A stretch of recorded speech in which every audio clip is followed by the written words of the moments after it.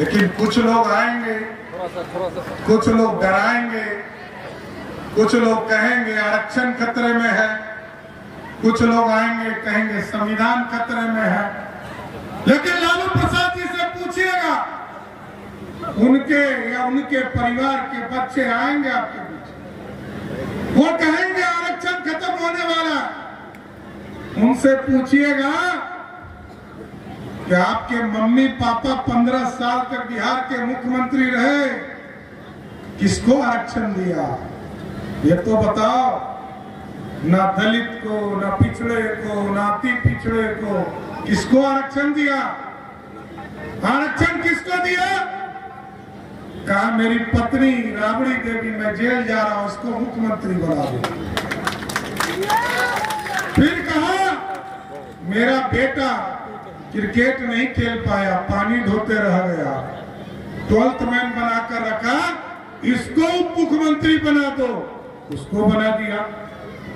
और इसी सारण अभी बता रहे थे, इस ज़िले का नाम सारण यहीं के गाँव से पड़ा। और सारण की बेटी को अपने घर से अत्याचार करके लालू जी ने घर से निकाल दिया। इसका भी बदला लेना है।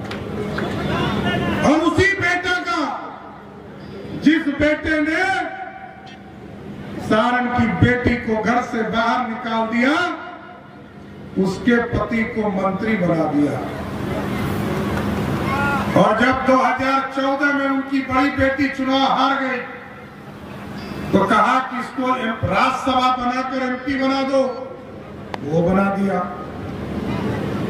जब बिहार में जंगल रास्ता साथियों तो हम सभी लोग तो पलायन कर ही रहे थे। लालू प्रसाद जी के भी बेटा और बेटी बिहार छोड़कर भाग गए थे। एक बेटी जो अभी सारण में चुनाव लड़ रही है, ये भी जाकर सिंगापुर में बस गई थी। अब मोदी और नीतीश ने जब बिहार ठीक कर दिया तो अब लालू की बेटी आकर चुनाव लड़ रही है। मैं गया था और मैंने लोगों से आग्रह किया, यदि यही सही में सच्चा काम करना चाहती है जन सेवा करना चाहती है तो इसको पाँच साल तक चुनाव हराओ। जनता के बीच में यदि सेवा करे तो अगली बार चुनाव ज़रूर जिता देना, लेकिन इस बार ज़रूर हरा देना। क्योंकि वो तो टूरिस्ट है। टूरिस्ट का काम है आना और चले जाना। वो तो सिंगापुर रहती है। सिंगापुर में रहती है बिहार को क्या समझे? इसलिए लालू जी का परिवार बिहार के आरक्षण की चिंता नहीं करता है अपने आरक्षण की चिंता करता है। लेकिन जब एनडीए की सरकार आप लोगों ने बनाया साथियों 2005 में नीतीश कुमार जी और सुशील मोदी जी बिहार के नेता हुए पहली बार 50 परसेंट महिलाओं को आरक्षण तब मिला जब नीतीश कुमार जी और सुशील मोदी जी बिहार को संभालने का काम। और उन्नीस सौ नब्बे से लेकर 2005 तक हमारे नौजवान साथियों को आजकल लोग कह रहा है। सत्रह साल बनाम सत्रह महीना। अरे भैया, बताना तो पड़ेगा ना कि आपके पापा मम्मी ने कितना कोटा खाया? और आप कितना खा रहे हो? देखिए साथियों 1990 से लेकर 2005 तक एक लाख लोगों को भी नौकरी बिहार में नहीं मिला। लेकिन जब 2005 से लेकर 2020 तक एनडीए की सरकार चली, साढ़े सात लाख लोगों को नौकरी दिया गया और हम आपको स्वस्थ करना चाहते हैं। 2025 के चुनाव में फिर आऊँगा वोट मांगने।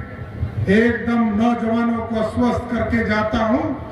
दस लाख जो नौकरी नीतीश कुमार जी ने घोषणा किया है, उसको पूरा करके ही आपके बीच में आऊँगा। क्योंकि साथियों, हमारे नौजवान बिहार में रहना चाहिए। भले लालू जी का परिवार बेरोजगार हो जाए, चिंता नहीं करना है। चार तारीख लालू प्रसाद जी का पूरा परिवार बेरोजगार हो जाएगा एकदम बेफिक्र रहेंगे। कुछ नहीं होने वाला है। लेकिन साथियों हम ज़रूर आग्रह करेंगे एक और कार्यक्रम हमको करना है, अभी छपरा।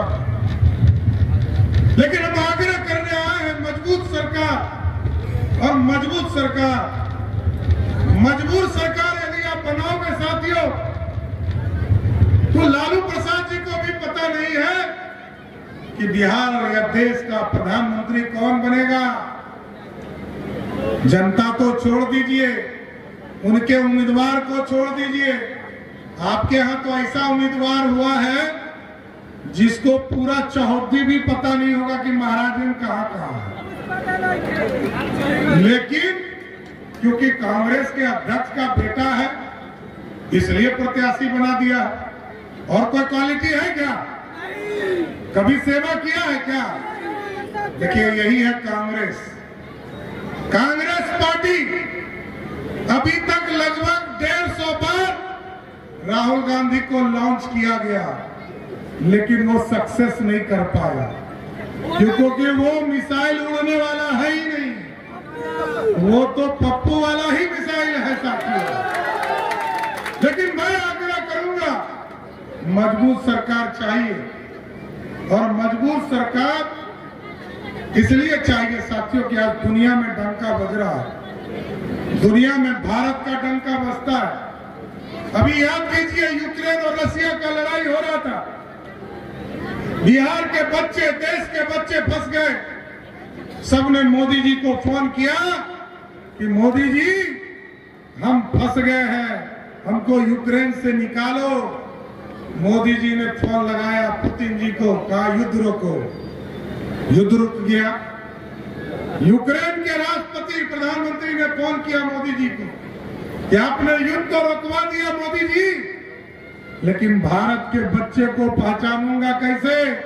मोदी जी ने कहा, जिस बच्चे के हाथ में तिरंगा होगा, वही भारत का बच्चा होगा। भारत के बच्चे तो निकले साथियों, बगल वाला पाकिस्तानी और बांग्लादेशियों निकल गया। यही है ताकत। इसलिए देश को श्रेष्ठ बनाना है और मज़बूत भारत बनाना है। और लोग पूछते होंगे कि मोदी जी ने क्या दिया? मोदी जी ने, आप सोचिए 2014 में आए। तो कहा गाँव गाँव बिजली पहुंचाऊँगा। पहुँचा कि नहीं पहुँचा? मोदी जी और नीतीश जी ने 2017 में कहा घर घर बिजली पहुंचाऊँगा। पहुँचा कि नहीं पहुँचा? पहुँचा कि नहीं पहुँचा? अब मोदी जी ने कहा है सोलर युक्त बिजली दूँगा और गरीबों के बिजली बिल को ज़ीरो करूँगा, ज़ीरो। बिजली बिल पैदा ही नहीं होगा।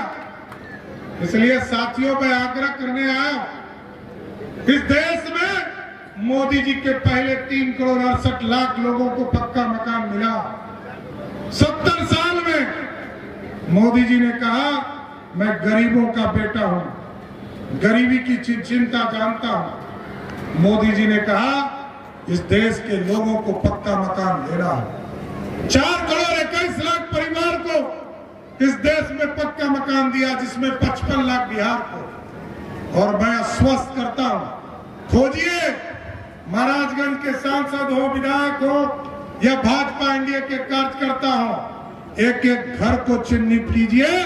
2025 के एमएलए के चुनाव के पहले जितने भी गरीब बिहार में हैं, सबको पक्का मकान मोदी और नीतीश कुमार की सरकार देने का काम करेगा। इसलिए साथियों, हमारा समय हो गया। हमको जाना भी है, आगे के दिनों में भी आऊँगा।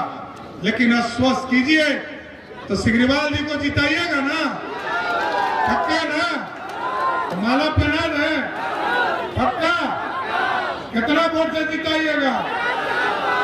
कि देश में 400 पार और बिहार में उनचालीस पार। तो महाराजगंज में चार लाख पार। तो पक्का ना जिताइएगा ना? एक बार हाथ उठाइए। बोलिए भारत माता की भारत माता की।